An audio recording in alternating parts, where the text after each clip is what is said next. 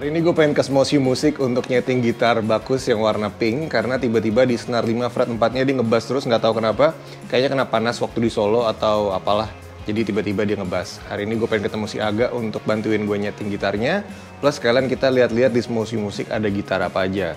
Dan kebetulan karena Smosi itu deket banget sama rumah gue, gue pengen naik sepeda. Kebetulan juga sore, adem, dan kayaknya seru juga ya bikin vlog naik sepeda bawa gitar. Ini pertama kalinya nih, gue bawa gitar naik sepeda.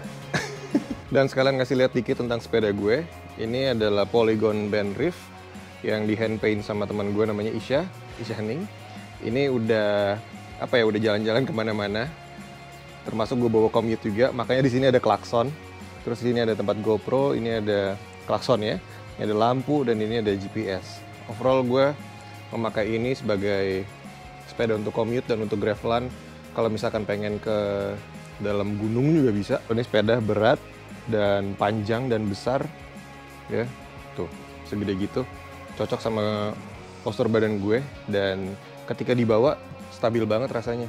Beda sama frame road bike yang karbon. Ini lebih stiff lebih stabil dan lebih cocok untuk berpetualang.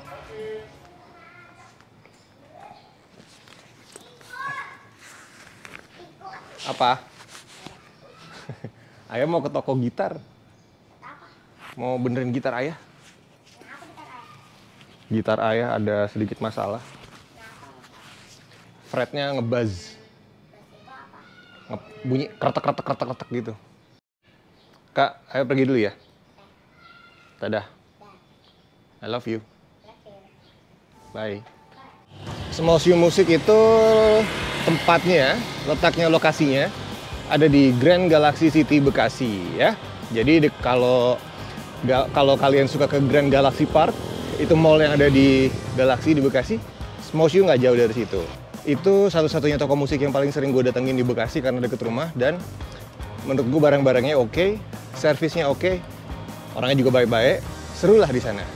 Nah ini sudah mendekati Smoshu Musik, tapi kita muter dulu dikit. Nah kita udah sampai di Smoshu.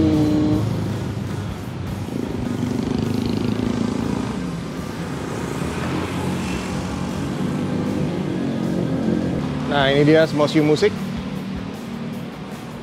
Rokoknya warna hitam. Sekarang tinggal kita masuk ke dalam ya. Assalamualaikum. Waduh. Bos. baik, baik, baik. Dari rumah. Aduh. Loh. Eh. Kamu. Apa kabar? Gede banget. Mas Yudi. Kok ketemu di sini? Iya, mau sepedaan.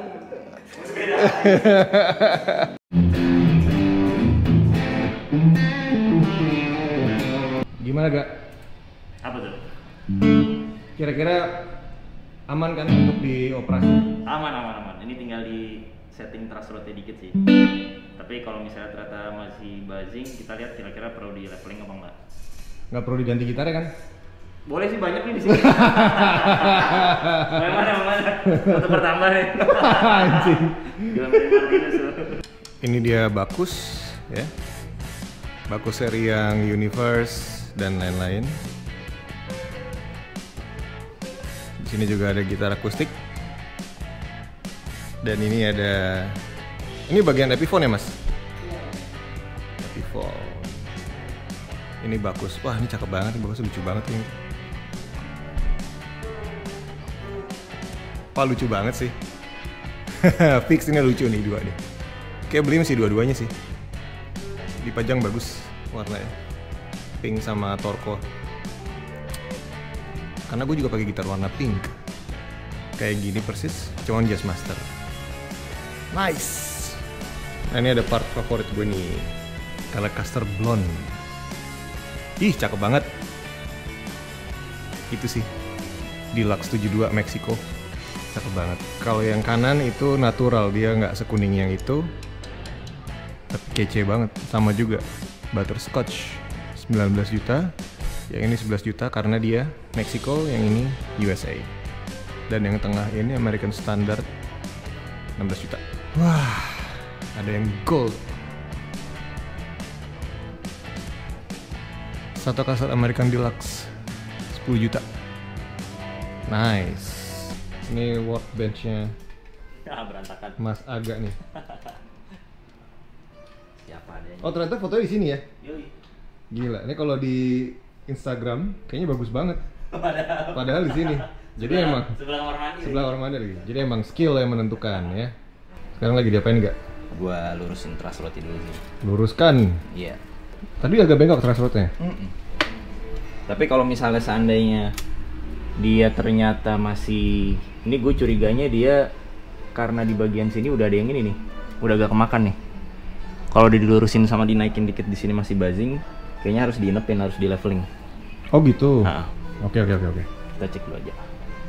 Nggak kalau misalkan pertolongan pertama pada fret bus itu biasanya apa aja sih yang harus dilakukan? Paling pertama dicek eh, thrust rod-nya dulu. Neck-nya dulu udah lurus apa belum. Kadang kalau terlalu bengkok, dia biasanya di fret 5 ke atas tuh jadi buzzing. Dicek kalau udah lurus, eh, masih buzzing juga si saddle bridge-nya. Saddle bridge-nya di naikin.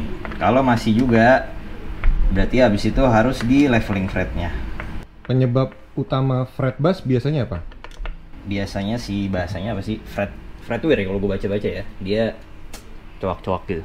Oh oke. di sini sini. Nah itu kalau udah kayak gitu kalau yang nggak terlalu parah masih bisa ditinggiin dari sini.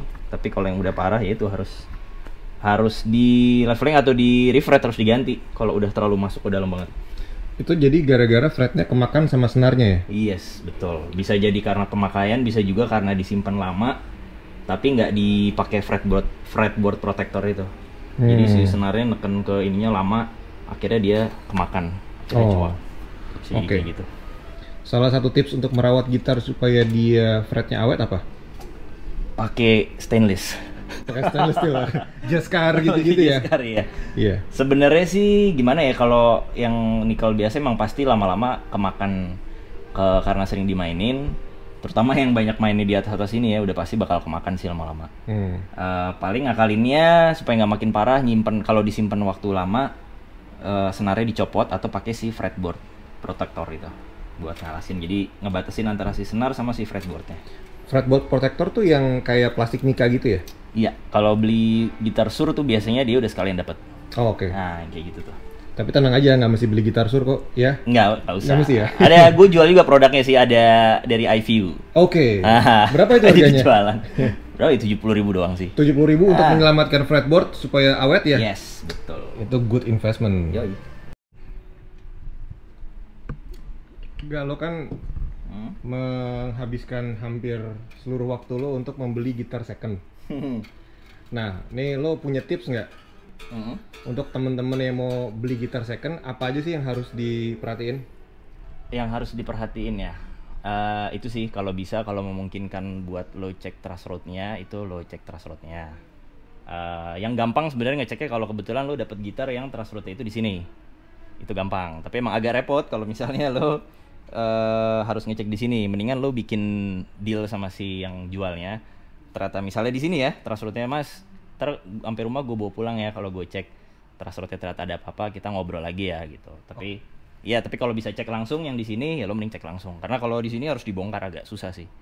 Gitu. Terus sama yang harus dicek lagi itu standar sih ya, biasanya elektroniknya lo coba cek apa namanya? hmm, berfungsi semua apa enggak. Ya kalau lebih dalam lagi ngecek masih ori apa enggak kalau lo tahu kondisi ori apa enggak itu lebih bagus lagi sih. Gitu. Hmm. Kalau dari serial number itu menurut lo gimana? Serial number, iya. Eh, ada iya ada enggaknya juga sih. Untuk seri-seri tertentu kayak Afri Custom Shop itu lo nggak bisa. Kebanyakan orang kalau ngeceknya itu kan dari website ya, dari ada website gitardaterproject.com biasanya ya.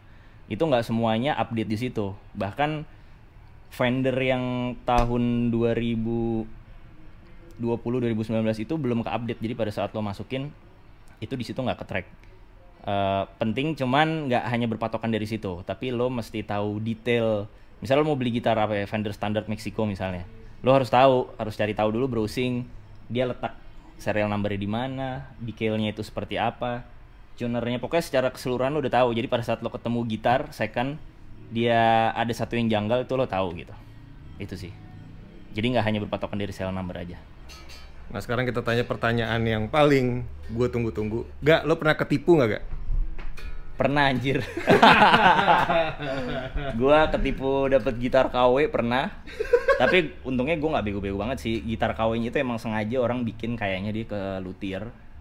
Eh, minta tolong dibikinin gitar yang persis sama gitu. Dan gua waktu itu memang kurang hati-hati. Gue COD pas kebetulan malam-malam di tempat yang agak gelap, di tempat gelap gitu. Terus waktu itu gue mau beli Fender Highway One Stratocaster.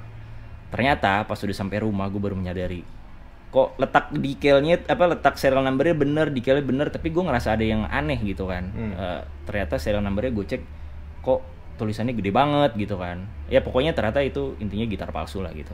Lo ketipu berapa waktu itu harganya lo beli? itu harga memang harganya miring sih untuk pada saat itu. Highway One di harga 5 juta pasaran masih bisa 8 jutaan. Yes. Terus udah kebayang cuannya gue kan? Terus waktu itu Stratocaster Classic 5 juga pernah.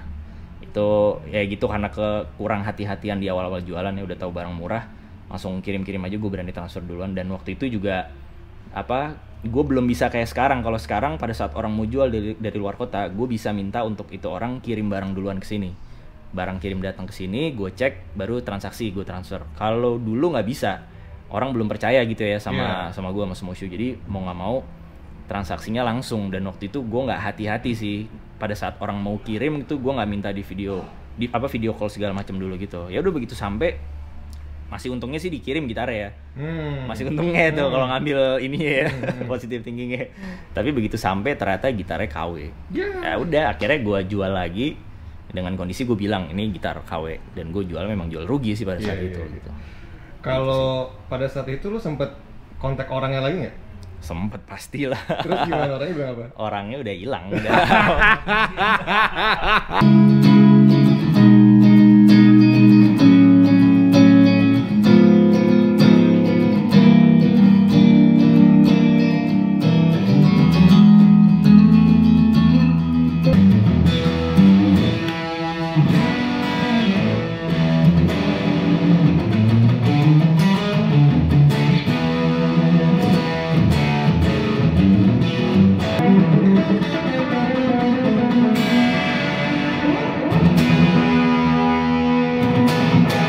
ini barusan selesai di setting sama Aga. Tadinya tuh sempat fret bass di di fret ini. Tapi sekarang semuanya udah gone, semuanya udah perfect. Tadi emang agak agak lama untuk ngesetnya karena dia detail banget. Dan overall barusan gue coba, gue happy banget sama hasilnya. Um, ini actionnya pas, nggak ketinggian dan nggak kerendahan, jadi nggak ngebas juga. Semua problemnya hilang. Gue salut karena gue suka orang yang kerjanya detail dan pelan-pelan gak buru-buru. Total tadi sekitar dua jaman atau tiga jaman tapi hasilnya worth it banget. Jadi kalau lo di daerah Bekasi khususnya pengen uh, setup gitar langsung ke Smoshu dan ini banyak banget yang bisa lo lihat di sini ada aksesoris dan segala macam. Anjir gue kayak sales saya tapi sebenarnya nggak. Gue ke sini cuma bener-bener buat ini doang buat setup gitar dan gue happy banget sama hasilnya. Jadi total recommended. Aga is a great guy. Um, harganya juga oke banget. Jadi kalian kalau mau setup langsung sini. Perfect gak? aman ya? Perfect. mantap. Ini emang bisa dibilang agak lumayan susah nyetingnya buat si Bakus kalau buat gue ya karena gue baru pertama kali ketemu si Bakus Jazz Master ini. Ya. Jadi kebetulan dia memang ininya lubang trasotnya di sini. Jadi supaya harus dapat apa namanya yang pas harus di adjust berkali-kali dicopot. Sama ini sih model bridge-nya dia agak unik juga sih. Hmm. Eh, apa namanya beda sama sama versi Fender ya yang Ya. biasa gue setting. Gitu sih. Iya. Tapi aman ya? Aman banget. Oke. Perfect. Mantep Gak, thank you ya. Thank you Mas Tiga. Dah. bye bye. Bye. Mas, thank you ya. Balik ya, Mas. Iya pak, jadi pak. Yuk. Keren senternya. Yoi.